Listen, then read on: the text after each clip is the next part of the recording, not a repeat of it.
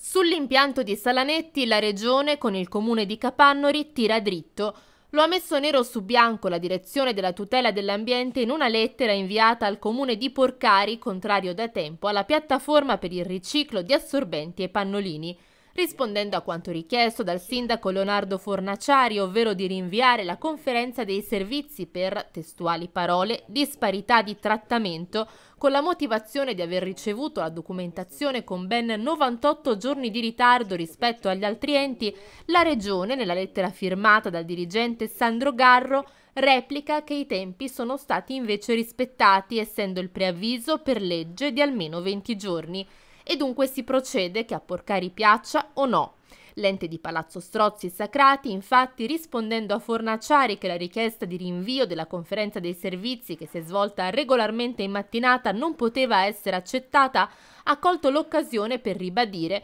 che l'iter per la realizzazione dell'impianto andrà avanti regolarmente.